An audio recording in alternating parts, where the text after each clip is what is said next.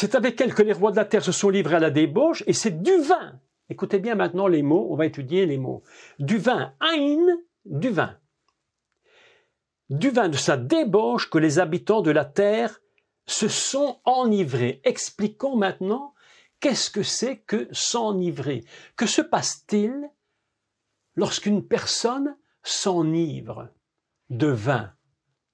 Eh bien, plusieurs choses. Premièrement, lorsqu'on est enivré de vin, regardez bien les alcooliques, regardez leur comportement, ils ont une modification de leur état de conscience. Ils ne savent plus, ils ont renversé, ils renversent les barrières de la morale.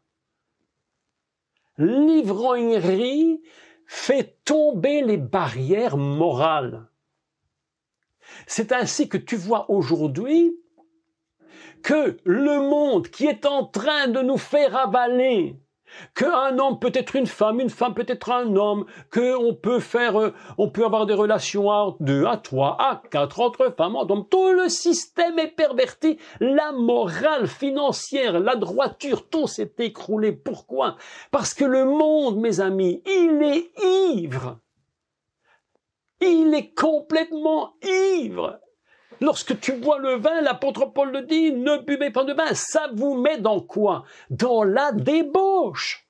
Le monde aujourd'hui est dans une ivrognerie. Non, mais c'est la folie totale ce que je dis, parce que lorsque tu vois les gens dans la rue, tu n'as pas l'impression qu'ils sont ivres. Ben, ils sont comme tout le monde. Ils vont faire leurs courses, ils marchent, ils viennent, ils prennent le bus, ils vont au boulot, ils reviennent, ils font leur affaire, ils font leur vie. La réalité est complètement différente. C'est une ivresse complètement invisible pour ceux qui ne croient pas. Nous pouvons le comprendre, eux ne le comprennent pas. Un homme ivre, une femme ivre perd le repère. Évidemment, la première chose, c'est son état de conscience est littéralement renversé. Ils sont ivres du vin de la débauche, écoutez bien, des rois de la terre, mes amis. La livrognerie totale d'un vin de débauche. C'est pourquoi aujourd'hui, lorsque tu entends tout ce qui se raconte à la télévision, tu peux te dire une chose, regarde, regarde bien, et tu verras que ces gens sont spirituellement complètement atteints. Ils ne peuvent plus sortir de ce système. Ils sont comment? Je vais vous dire, ils sont évèdes esclaves, esclaves du système. On les oblige de croire à des choses auxquelles jamais on n'aurait pensé il y a quelques années. Mais aujourd'hui, ça devient normal. Ils sont ivres. Que produit encore l'ivrognerie chez quelqu'un? Je me suis dit, mais quand j'ai fait cette recherche sur l'ivrognerie, j'étais sur YouTube et je me suis dit, le plus simple, c'est de voir un peu ce que disent les médecins sur les ivrognes. Les gens qui sont pris, ben oui. vous savez, il y a des choses qu'il faut chercher par nous-mêmes et des choses que des autres ont trouvées pour nous. Donc, quand ils les ont trouvées, on profite et on gagne du temps. Que nous disent les médecins concernant l'ivrognerie Eh bien, ça anesthésie, écoutez bien les mots, une anesthésie des sens. Anesthésie des sens. Vous imaginez ce monde est en anesthésie totale. Qu'est-ce qu'une anesthésie? Ben, C'est très simple. Tu ne ressens plus. Tu n'as même plus la sensation. Lorsqu'on t'opère, on t'anesthésie, on peut te couper en mille morceaux, on peut te faire tout ce qu'on veut, tu sens rien. Mais tu, mais tu le sentiras quand tu te réveilleras. Là, tu vas le sentir. Ah, là, tu vas sentir quelque chose. Et tu diras, mais qu'est-ce qu'on m'a fait? Mais qu'est-ce que l'on m'a fait? Ivre, ivre de la débauche, cette ivresse de la débauche de la prostituée Babylone te rend complètement sous anesthésie. On pourrait te faire faire n'importe quoi. Le monde ne souffre même pas de ce qu'il fait, mes amis. Je suis en train de vous faire de dépeindre un tableau abominable, horrible, mais c'est la réalité de ce que nous dit la parole de Dieu. Voilà comment Dieu voit le monde. Il dit voilà le monde comme je le vois. Et Dieu dit mais j'en ai, expression, par-dessus la tête. Mais par-dessus la tête. Il faut que ça s'arrête. Quel est, que, que ressent un ivrogne? Celui qui est pris dans le piège de l'ivrognerie, qu'est-ce qu'il ressent? Eh bien, il perd tout sens, écoutez-moi, il perd même le sens du danger. Oui, l'ivrogne, il est capable de monter dans sa voiture, de passer les feux rouges, et il n'a même pas peur. Des gens se sont noyés parce qu'ils étaient ivres, ils ont plus peur du danger, ils ont cru que tout était possible, ils sont montés sur des immeubles, se sont jetés en croyant qu'ils étaient des oiseaux. Oui, ils se sont jetés dans le fleuve en croyant qu'ils étaient devenus des poissons. Évidemment, ils sont noyés. Ils ont perdu le sens du danger. Voilà ce que fait Babylone.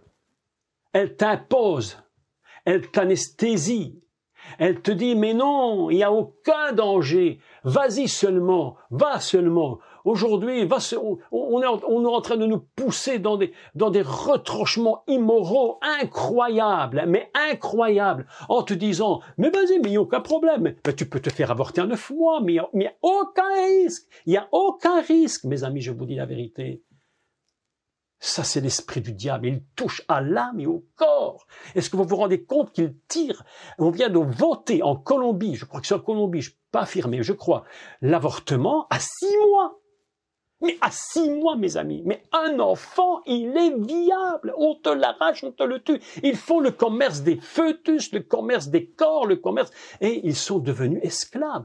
Voilà, voilà l'ivrognerie dont nous parle la Bible. C'est pas seulement des mots en l'air. Lorsque l'apôtre dit, lorsque l'apôtre voit le monde ivrogne de la débauche, voilà ce qui se produit. Ils n'ont même plus le sens du danger. L'ivrognerie produit encore autre chose. Vous allez reconnaître le monde dans ce que je dis, évidemment, si vous ouvrez les yeux. L'ivrogne, mais en exerce, il va montrer, ça va sortir de lui véritablement sa véritable nature. Sa véritable nature. Vous avez vu qu'un ivrogne, qu'il soit femme d'ailleurs, sa véritable nature en lui n'a plus de contrôle et il révèle ses défauts il se les révèle. Et tu regardes ces gens, tu te dis, mais comment peuvent-ils faire de telles choses? Mais la conscience est partie. Ils ne ressentent plus rien. Et leur véritable nature profonde se révèle au monde. Ça, c'est l'ivrognerie, qui est produite dans notre monde par cet esprit qu'on appelle la grande prostituée. Le pauvre peuple, et je dis le pauvre peuple, il est en train de s'enivrer, mes amis, c'est horrible, de la débauche des rois de la terre. Oui, de la débauche des rois.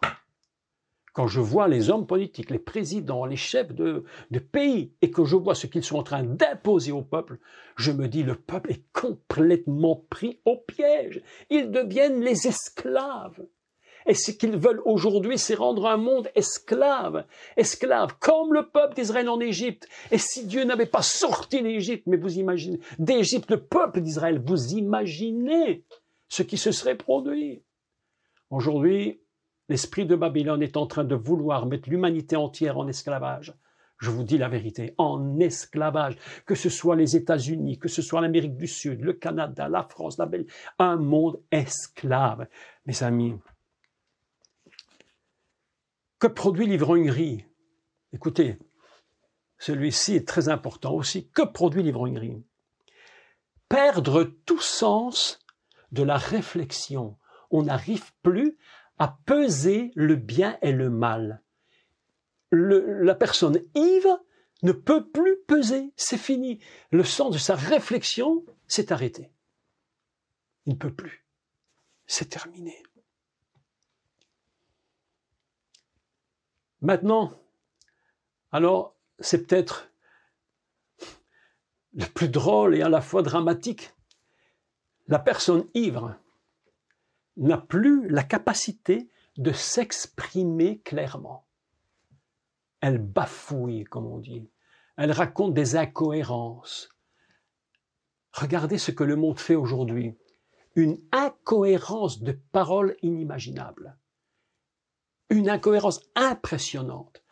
Les gens n'ont plus la capacité de parler avec clarté. tout est mélangé. J'entends partout les gens me dire, en écoutant, et je suis certain que vous l'avez entendu aussi, écoutez, je suis certain que vous l'avez entendu, on nous dit aujourd'hui, on ne sait plus quoi croire. Fake news, vérité, on ne comprend plus rien. On ne comprend plus rien. Il n'y a plus une capacité de s'exprimer clairement sur une vérité ou sur un sujet. Ça s'appelle être dans un état d'alcoolisme très, très, très avancé. L'alcoolique peut devenir violent. Il peut devenir aussi extrêmement doux, une espèce d'alcoolisme euh, très sentimental à l'extrême. Ça fait parfois rire, mais c'est terriblement dramatique. Voilà notre, voilà notre monde. Et alors pour terminer, terminer sur l'alcoolisme, qu'est-ce que Babylone produit lorsqu'elle rend le monde ivre? Les gens sont arrivés à un tel niveau qu'ils ne savent même plus qui ils sont. On ne sait plus qui on est. Et ça va tellement loin, ça va tellement loin que ce que je vous dis est absolument certain. C'est qu'aujourd'hui, on voudrait que tout le monde soit le même. Tout le monde, la même chose. Une Europe unie, tout le monde sur le même pied, tout le monde pense le même, à la limite, tout le monde mangera le même, tout le monde aura le même humour, tout le monde aura la même façon de vivre. Mais les gens ne savent plus qui ils sont, et c'est la façon la plus facile pour mettre tout le monde sous le joug unique de la dictature mondiale. On vient me dire, l'autre jour j'écris à la télévision belge, de temps en temps je leur fais un petit mot, je leur écris qu'est-ce que vous pensez de ceci? Vous avez dit ça, mais qu'est-ce que vous pensez de ça? Et lorsque je leur envoie la vidéo sur le, nouvel ordre mondial, dont il faut dire quelques mots, le nouvel ordre mondial, il faut que j'écrive ça pour ne pas oublier. Euh, nouvel ordre mondial, il faut que je vous parle de ça. Que me répond la télévision belge? Mais ça n'existe pas, monsieur Collant. Mais tout ça, ce sont des illusions. Ce sont simplement, ils me répondent mot, quasiment mot pour mot, ce sont des hommes politiques qui vous disent des grandes choses, ils vous disent des grandes phrases pour parler de rien du tout, des choses très simples. Mais ça n'existe pas. Et mes amis, vous savez, vous savez ce que j'ai compris à travers ça? Ces gens sont très honnêtes dans leur réflexion, mais ils sont littéralement hypnotisés et ivres. Ivres du vin de la débauche de la prostituée. Ils n'ont plus aucun sens de la réflexion. Ils ne peuvent même plus exprimer une vérité qui est pourtant bien écrite dans la Bible. Le nouvel ordre mondial, comment, écoutez, c'est absolument, mais incroyable. Comment dit-on le nouvel ordre mondial en hébreu? Trois mots.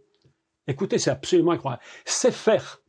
Oh non, on va parler de, attendez, euh, Seder. Seder, Olam, Radash. Mais écoutez, les mots sont impressionnants. Si vous parlez à un juif du Seder, la première chose qu'on va penser, parce qu'il faut, ne faut pas penser langage terrestre, il faut penser langage spirituel. Tout ça, c'est spirituel. Qu'est-ce que qu'est-ce que c'est qu'un Seder? Vous le savez comme moi. Un Seder, c'est le repas de Pâques. Pessah. On dit qu'on fait le Seder. Et voilà que le mot nouvel ordre mondial s'appelle Seder. Incroyable. Et il est Radash, c'est-à-dire nouveau, et il est, tenez-vous bien, écoutez le mot, mais c'est absolument fou, il est Olam. C'est-à-dire, il est le monde voilé. C'est quelque chose qui est complètement voilé. Et c'est ce qu'on appelle le nouvel ordre mondial. Comment voulez-vous que ces gens à qui vous écrivez, journalistes ou autres, n'ont pas, ne peuvent pas comprendre ce qu'on leur dit? C'est un, une folie absolument incroyable. C'est comme si nous lisions que l'esprit de Babylone, c'est un cédère une Pâque nouvelle, mais qui est voilée. Vous imaginez un peu l'histoire. Mais c'est pourquoi le monde ne comprend pas. Et quand vous leur écrivez, mais qu'est-ce que vous pensez de cette déclaration de M. Sarkozy? Qu'est-ce que vous parlez de la déclaration de M. Bush père, de M. Bush fils et de tous les autres? Et, on, et on me répond, mais non, ils utilisent des phrases pour dire des choses comme ça, des grands mots, mais en finalité, c'est simplement pour dire aux gens, mais tout va très bien, tout va très très bien, Madame la Marquise, ne vous inquiétez pas, tout va très bien, tout va très bien, le château brûle, mais c'est pas grave, Madame la Marquise, la jument est en train de mourir, mais c'est pas grave, Madame la Marquise, tout va très bien. Mes amis, je vous dis la vérité, c'est d'air Olam Hadash, le nouvel ordre mondial. C'est une sorte de, est-ce que j'oserais dire, mais je crois qu'il faut le dire, une sorte de nouvelle religion. Religion. Où tout le monde doit se soumettre à ce Dieu Babylone, à cet esprit démoniaque qui gère le monde et qui enivre la terre. Si tu enivres quelqu'un, tu fais ce que tu veux avec lui. Tu peux lui faire faire quasi ce que tu veux. Il ne se rend même plus compte de ce qu'il fait. Voilà pourquoi la Bible nous dit ce texte absolument extraordinaire. Dieu parle à Jean et il voit une femme qui est en train d'enivrer les rois et les nations. Elle est roi, elle est roi. Bien aimé, je ne crois pas qu'ils sont si innocents que ça. Je crois qu'ils ont réellement, réellement une connaissance de ce qu'ils font. Ils vont tirer profit et plaisir. Lorsqu'on va, lorsqu'un homme, je ne sais pas, jamais été, mais lorsqu'un homme va avoir une prostituée, il prend son plaisir. Il ne se rend pas compte qu'il doit payer pour avoir quoi? En finalité, la mort. La mort. Le livre des Proverbes nous parle de cela. La Bible nous parle de cela. que dit que dit le livre des Proverbes concernant un homme, un jeune homme qui va voir une prostituée? Vous savez ce que la Bible dit? Parce que la Bible, elle parle de tout. Elle nous révèle tout. Vous savez ce qu'elle dit? Elle dit, j'ai vu, j'ai vu un jeune homme jeté par la fenêtre et j'ai vu le soir au coin d'une rue un jeune homme qui était parti avec une prostituée. Et vous savez à quoi il le compare? Écoutez bien. Un bœuf qui a un anneau dans le nez. Regardez le livre des Proverbes, je n'ai pas la référence en tête, mais vous allez le trouver. Un bœuf qui a un anneau dans le nez et qu'on tire pour l'emmener où? À l'abattoir. Ça, c'est l'homme qui va voir la prostituée. Qu'est-ce qu'elle tire, elle, comme avantage, la prostituée? Je vais te dire ce qu'elle tire. Ce qu'elle tire, l'argent. Le reste, elle, s'en contrefiche. Mais complètement. Elle n'a rien à voir. Et les hommes sont complètement pris au piège. Et voilà le monde dans lequel on est, un monde qui est, qui sont des bœufs qu'on conduit à l'abattoir, attendant qu'ils soient d'être exécutés, et ce sera pour eux la fin. Voilà ce que nous dit le texte. Terrible. Terrible, terrible, terrible, terrible, terrible. Voilà dans le monde dans lequel nous sommes. Je vous ai fait ce soir un cours dépeint l'esprit de la prostituée est l'esprit du monde dans lequel nous nous trouvons.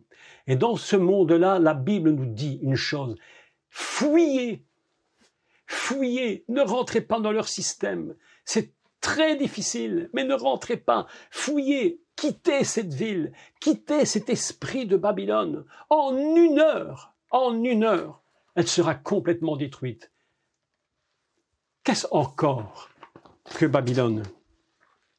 Pire, pire et pire encore que tout ce qu'on peut imaginer. Écoutez ce que nous dit la Bible. Il voit la grande prostituée qui était ivre du sang des saints et des témoins de Yeshua. Non seulement elle est pervertie, mais en plus de ça, elle est, d'une cruauté extrême, elle s'oppose à tout ce qui est de Dieu, elle s'oppose aux saints, c'est-à-dire au peuple, ce qu'on appelle le peuple saint, le peuple d'Israël, elle s'oppose aux témoins de Yeshua, c'est-à-dire à toi et à moi. Et le jour où on te poussera, où le système te poussera à te taire, à ne plus rien faire, à prendre, à, à te poussera à adorer le diable en personne et que tu résisteras, je vais te dire, si le Seigneur ne nous a pas enlevés avant, ce sera très difficile. La Bible nous dit clairement qu'il a vaincu les saints. À un certain moment, ils vont être vaincus. Et nous, il nous faut nous garder. Alors, la question qui se pose maintenant, c'est, et c'est la grande question que tout le monde me pose, et à laquelle je n'ai pas de réponse. Moi, je suis toujours très clair par rapport à tout cela. Quand j'ai pas la réponse, je préfère dire je n'ai pas la réponse. Il y a des gens qui essayent de s'engager dans des explications qui ne tiennent pas la route. Je préfère dire je ne sais pas quand aura lieu l'enlèvement de l'Église. Avant, pendant ou après. Mes amis, j'espère pour vous et moi que ce sera avant. Mais c'est pas du tout certain. Pas du tout certain. Néanmoins, l'esprit de Babylone, qui est en train de contrôler et de rendre ivres les habitants de la terre, nous sommes dedans, mes amis. Nous sommes complètement dedans. Regardez la trinité satanique, Berlin, Bruxelles, Strasbourg, nous sommes en plein dedans. Géré par le système qui veut mettre en place un système complètement, j'allais dire, euh, euh, dans sa totalité de création, j'ai pas le mot exact, euh, avec douze étoiles, mes amis, voilà où nous sommes aujourd'hui. Comment nous allons-nous réagir Mais qu'est-ce que Babylone encore? Elle est ivre du sang des saints et des témoins de Jésus.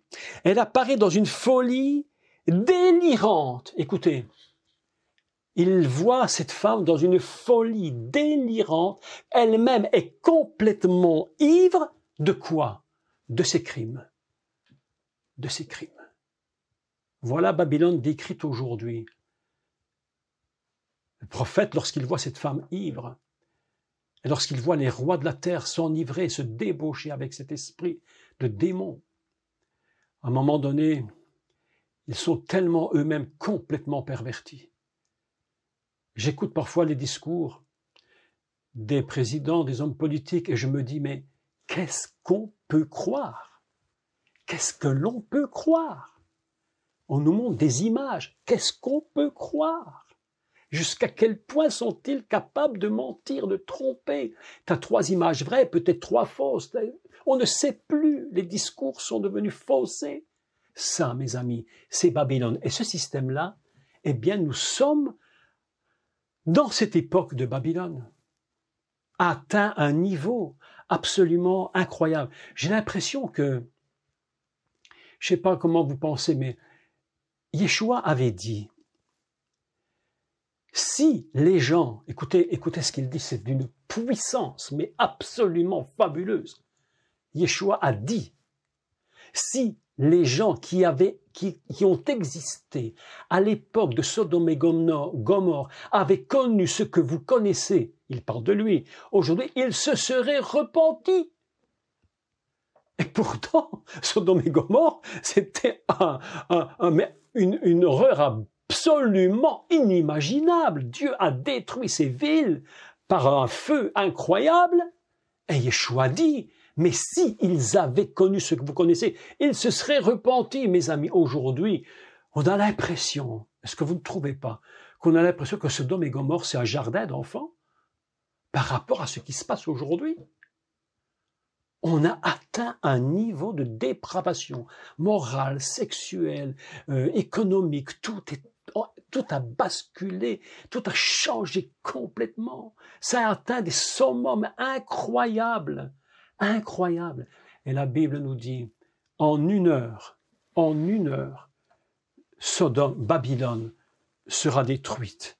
En une heure. Voilà un texte qui est vraiment terrible. Je voudrais, la la fois prochaine, je vous parlerai comment cet esprit démoniaque de la prostituée, la ville de Babylone, qui règne sur la terre en tant que ville et non pas en tant qu'entité euh, de pays du monde, parce qu'un des pays, c'est compliqué d'unir, une ville, c'est beaucoup plus facile. Comment elle a été détruite? Pourquoi ça s'est détruit Et que fait la bête? Que va faire la bête qui va sortir de la mer avec cette Babylone? Pourquoi va-t-il la tuer? Quelle est la raison? Alors que c'est lui qui la porte. Pourquoi tu es ce que tu portes? Ce sera le thème de mon prochain cours. Je lis juste ceci. Apocalypse 18. J'espère quand même que vous passerez une bonne nuit quand même. Hein, quand même, vous allez passer une bonne nuit. Hein, D'accord? Mais il faut quand même parler de la vérité. On peut parler de, on peut parler tout ça et puis et faire qu'une lecture euh, comme ça rapide. Il faut expliquer pourquoi Dieu donne de telles visions et de telles précisions. Et lisons Euh, Apocalypse 18, juste l'introduction. Après cela, je vis descendre du ciel un autre ange qui avait une grande autorité. Une grande autorité. Et la terre fut éclairée de sa gloire. Vous imaginez ça? Est-ce que ça ne vous fait pas tilt ça? Un ange à lui seul est capable d'éclairer la terre de sa gloire. On dit, mais c'est quoi ce type d'ange? Qu'est-ce que c'est ce type d'ange? Et alors qu'il n'est même pas, il n'est même pas comme Dieu, Dieu est encore bien plus grand, incroyable. Il cria d'une voix forte. Imaginez ça, imaginez la voix de l'ange.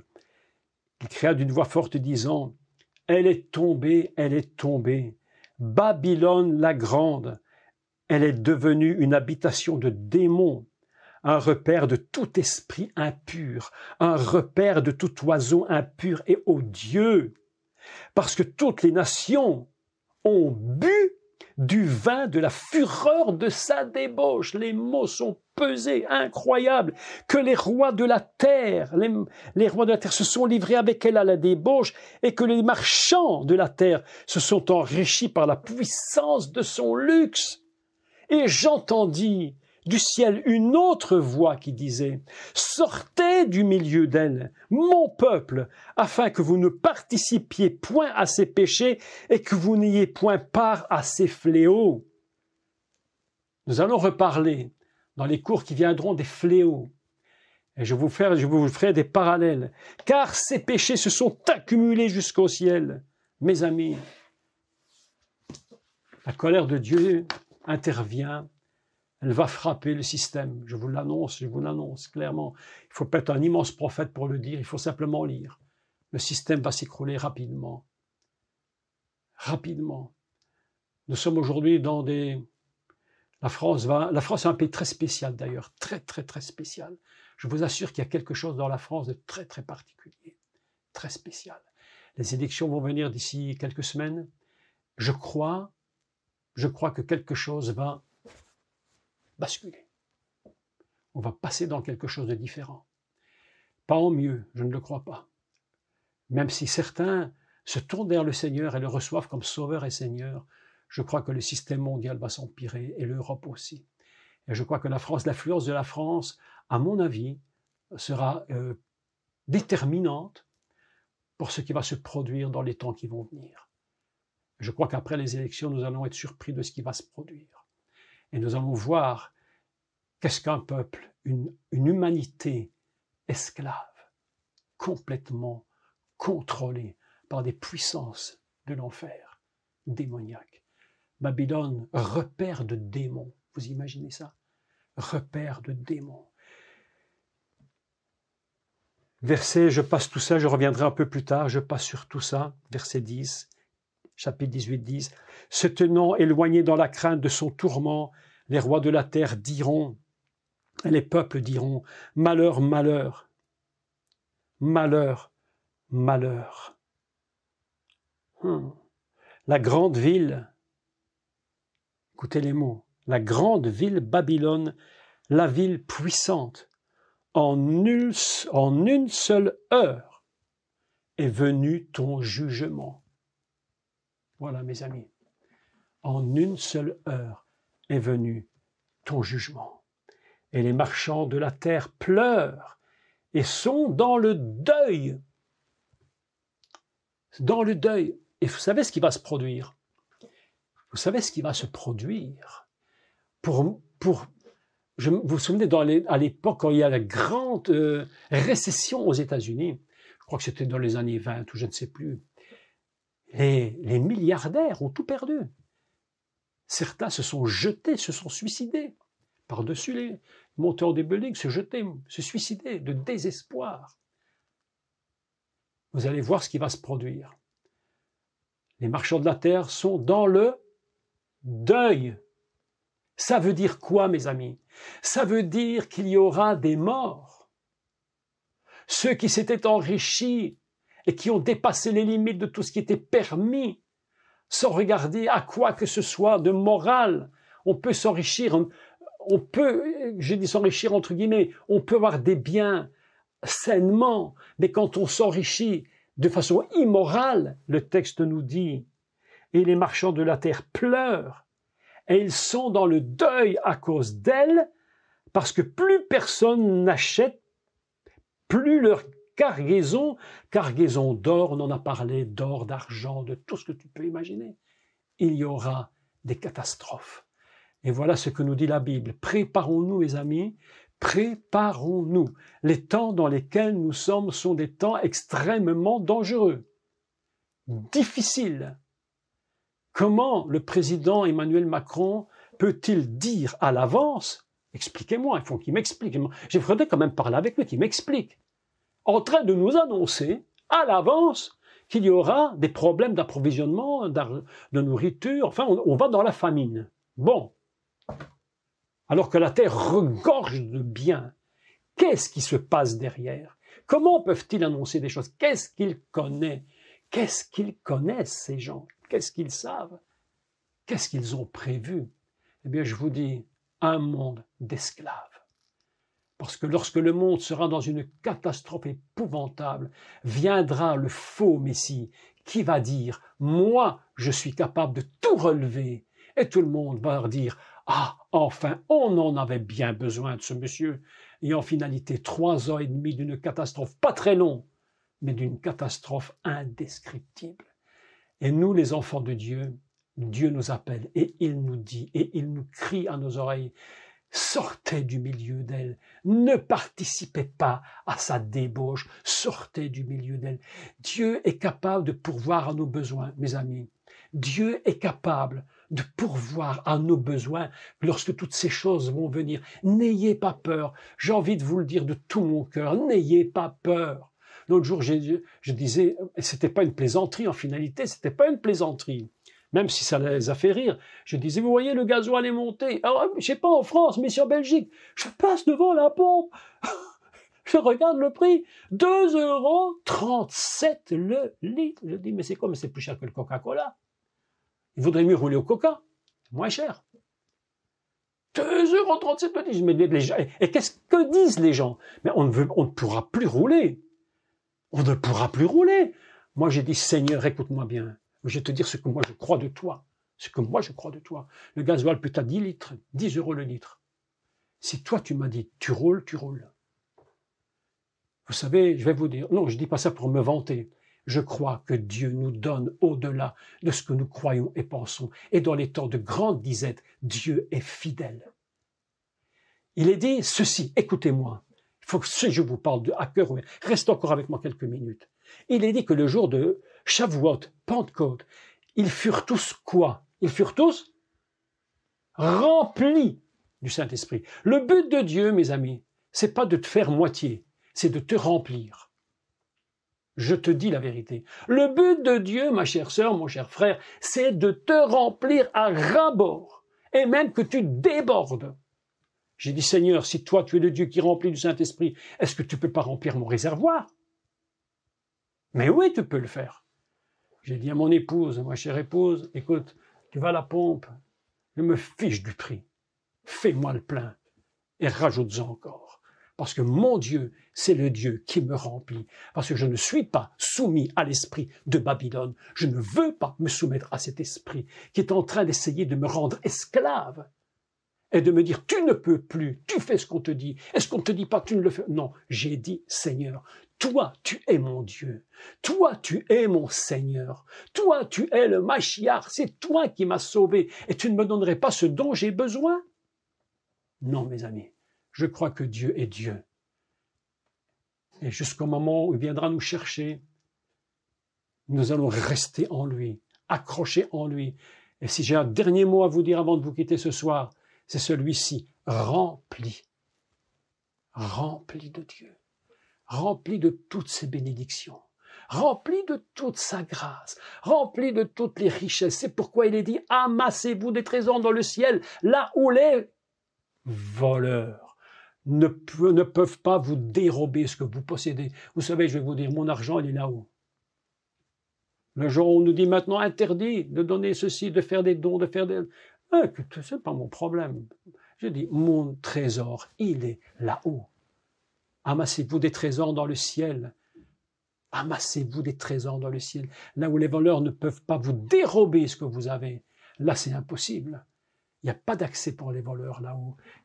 Et si tu t'es amassé des trésors là-haut, au temps du besoin, il déversera sur toi ce dont tu as besoin, quelle que soit la situation du monde. N'ayez pas peur, n'ayez pas peur. Dieu est notre Dieu, il est notre pourvoyeur. C'est lui qui a dit, je te donnerai à manger, je te donnerai un logement, je te donnerai ce dont tu as besoin. Et c'est pas Babylone qui va venir nous contrôler et nous diriger.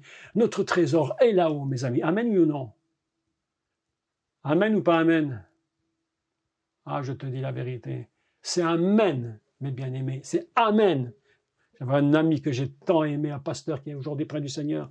Il disait toujours à l'église, Amen ou pas Amen? Et il disait, oui, c'est Amen. C'est-à-dire, c'est ainsi que la chose se produira. N'ayez pas peur. N'ayez pas peur de Babylone. N'ayez pas peur de ce qui va se produire. Levez les yeux. La délivrance est proche. Le Seigneur est avec nous.